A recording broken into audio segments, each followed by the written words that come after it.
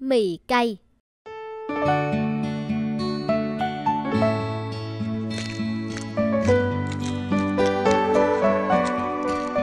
Hôm nay tối muộn thế này Chẳng còn hàng quán nào cả. Đói thế không biết. Ôi may quá Vẫn còn người bán hàng. Bác ơi Bác có còn bán hàng không ạ? Cậu mua gì? Dạ cháu về muộn Giờ chẳng thấy hàng quán nào mở cả. Bác còn gì có thể ăn để bán cho cháu không ạ? Giờ này chỉ còn mì gói thôi. Cậu có ăn không? Dạ có chứ ạ. Nhưng bác ơi cháu chỉ còn mỗi 5 ngàn. Cậu cứ ngồi đi. Từng kia tiền là đủ rồi. Dạ may quá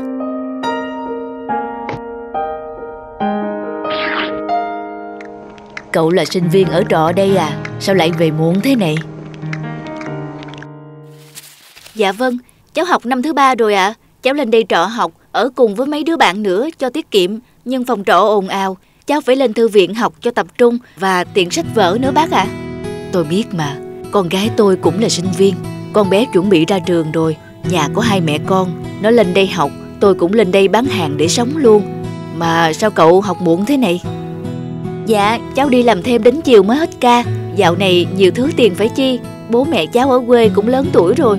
Cháu không muốn xin nhiều quá. Thật là ngon hết sức. Cháu chưa bao giờ được ăn bát mì nào ngon thế. Cháu cảm ơn. Cậu ngon miệng là tốt rồi. Chắc vì muộn Cậu cũng đói và mệt nữa đúng không? Dạ vâng Nhưng được bát mì cháu tỉnh cả người. Mà mai bác còn bán ở đây không ạ? À? Hôm nào bác cũng bán ở đây Nhưng khoảng 9 giờ là bác nghỉ rồi Hôm nay bác có chút việc nên dọn muộn thôi. Vậy à, thấy hôm nay cháu gặp may rồi. Thôi, cháu chào bác. Này cháu. Dạ. Dạo này sinh viên học muộn nhiều lắm nên bác cũng bán hàng muộn hơn. Mai mà có đói thì ghé lại chỗ bác nha. dạ, vậy thì tốt quá. Những ngày sau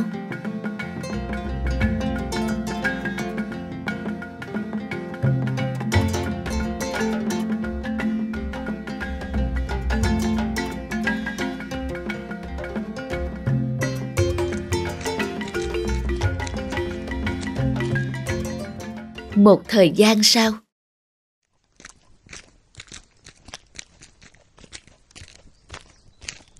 Chào cậu Ờ, cô là...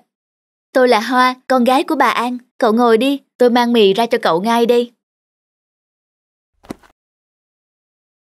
Bác Hoa có kể cho tôi nghe về cậu. Hình như cậu đã tốt nghiệp và đi làm rồi phải không? Hôm nay trời mưa, tôi lại được nghỉ làm về sớm. Nên tôi bảo mẹ tôi về nghỉ tôi sẽ làm nốt việc của bà. Mà hôm nay cậu về sớm nhỉ? Vì mẹ tôi dặn là cậu phải tầm hơn 10 giờ mới ra, vậy mà mới 9 giờ đã thấy cậu ra thế này. Thật ngại quá, tôi phải tận dụng thời gian để học trên thư viện, sắp phải thi tốt nghiệp rồi mà. Mà bác An đúng là quá chu đáo thật, lại còn dặn lại cậu là tôi sẽ ra ăn nữa chứ. mẹ tôi là vậy mà. Mà tôi có một đề nghị với cậu. Đề nghị cơ à? Nhìn cậu nghiêm túc thế. Cậu nói đi cậu có thể về sớm hơn được không? Hoặc là cậu có thể không ăn đêm ở quán ăn này nữa được không? Tại sao? Mẹ tôi đã lớn tuổi rồi, đi về muộn quá, gặp Sương là ốm. Trước thì cứ khi nào tôi học xong là bà dọn hàng về, tôi cứ nghĩ rằng tôi đi làm rồi thì mẹ tôi đỡ vất vả. Vậy mà có ngày bà phải hơn 10 giờ đêm mới về đến nhà. Hôm qua trời chuyển lạnh, mẹ tôi về muộn, khớp xương sưng cả lên. Tôi nói thật, tôi không thể cầm lòng được. Thật khổ, dạo này trời lạnh rồi, cậu nên khuyên bác không nên bán hàng ban đêm nữa. Tôi đã nói rồi, nhưng mẹ tôi nói có một cậu sinh viên nghèo học về khuya, đêm nào cũng cần một bát mì của mẹ. Tôi, chính là vì tôi. Vậy nên tôi mới nhờ cậu. Tôi hiểu rồi, tôi vô tâm quá. Bác thật là một người nhân hậu. Cậu hãy yên tâm, tôi sẽ không để cho bác phải chịu vất vả vì tôi nữa đâu. Cảm ơn cậu.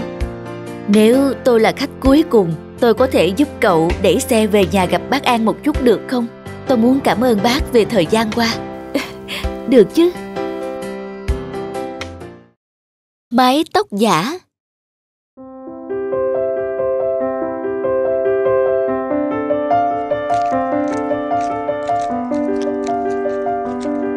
mời chị và cháu vào xem hàng. Hôm nay có hàng mới về đấy ạ. À. Wow, nhiều đồ đẹp quá. Nhiều váy đẹp quá mẹ ơi. Ừ, con lựa lấy một bộ ưng nhất đi con. Cha, cháu nhà chị có mái tóc dài đẹp quá. À, vâng, cháu nó cũng yêu quý mái tóc ấy lắm, chẳng chịu cho cắt bao giờ đâu. Mẹ, con thích chiếc váy này. Ừ, chiếc này hợp cho con diễn văn nghệ đấy. Dạ, mời chị và cháu vào xem hàng.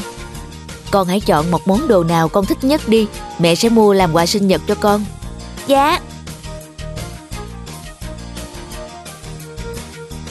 Con còn muốn mua gì nữa? Dạ để con ngắm đã. Ôi, à, tớ xin lỗi. Đi lại phải nhìn chứ. Xin lỗi, tại tớ mãi xem hàng.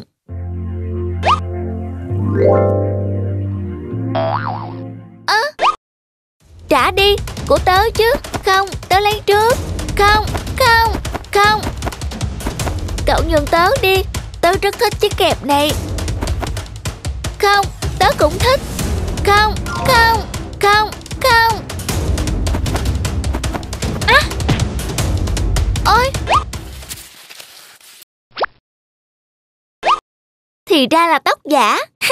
Tưởng thế nào, đầu trọc thì mua kẹp tóc làm gì? Có đeo cái kẹp này lên tóc giả thì cũng chẳng đẹp gì đâu. Tớ, tớ...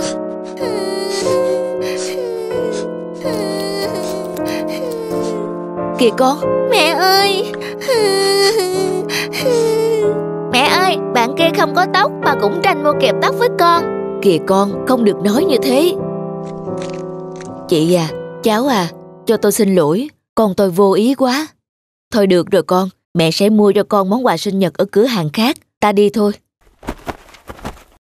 Ừ Chị và cháu khoan đi đã Đợi tôi một chút à Kìa con Con không thấy gì sao Thấy gì ạ mẹ? Bạn ấy không có tóc, lại phải đeo tóc giả nữa. Nghĩa là bạn ấy... Bạn ấy làm sao ạ? Nghĩa là bạn ấy đang có bệnh trong người, có thể bệnh rất nặng, phải giành giật sự sống từng ngày đấy con à. Thật vậy sao mẹ? Con không biết. Mà hình như hôm nay lại còn là ngày sinh nhật của bạn ấy nữa.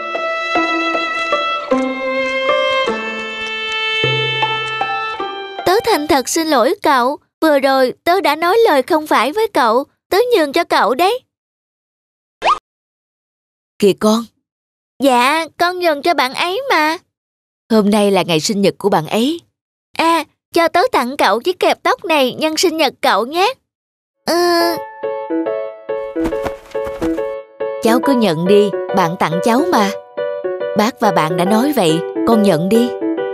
Tớ cảm ơn cậu, cháu cảm ơn bác. Happy birthday cậu nhé. Cháu nhà Bình ngoan quá Cách dạy cháu của chị làm em nể lắm.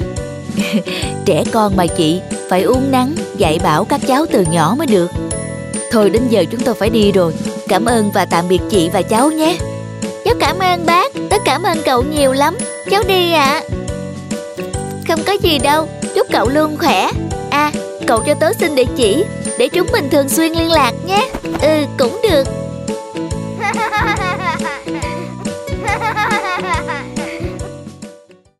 Đang ăn tiền mà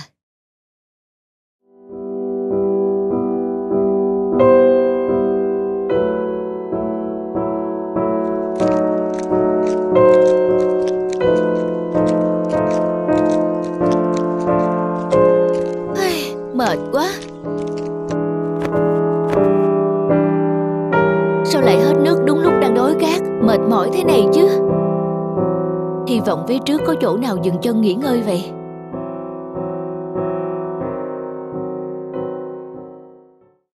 Mệt mệt quá, khát quá.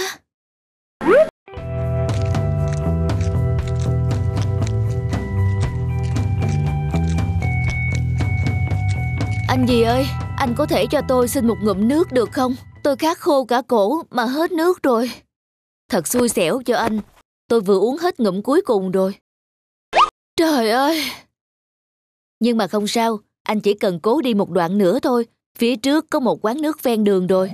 Ồ, thật ư? Đúng vậy, còn không xa nữa đâu Anh cố đi đến đó mà nghỉ ngơi. À, Vâng, vâng, cảm ơn anh.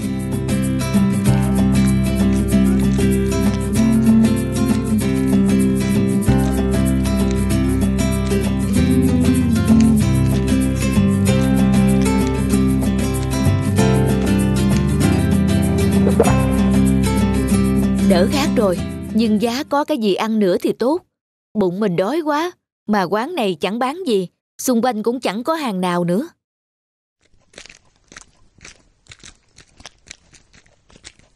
Chủ quán ơi, cho xin chén nước với. À, vâng, nước của anh đây. Anh đi đâu đấy? Tôi xin, tôi ra chợ bán hàng anh ạ. À. Bán hàng? Bán hàng gì thế nhỉ?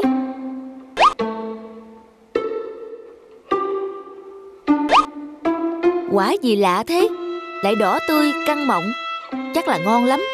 Đang lúc đói, bay quá.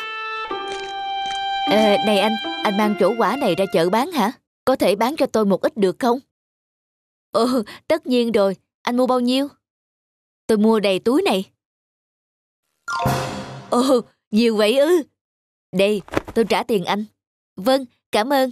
Chào anh, tôi phải đi tiếp đây.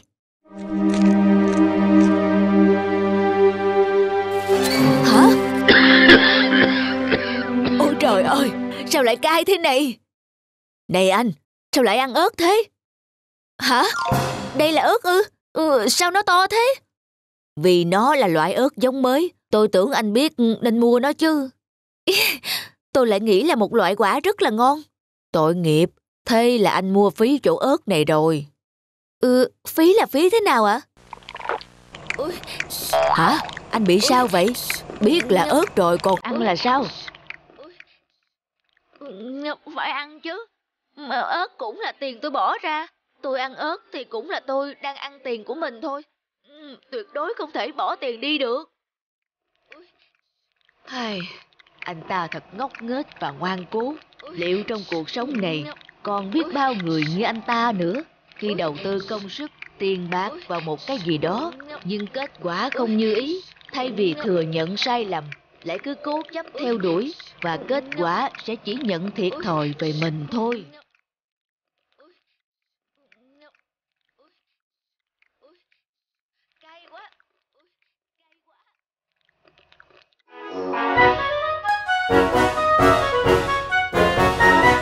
Hãy like, comment, subscribe kênh để xem thêm những video mới nhất nhé.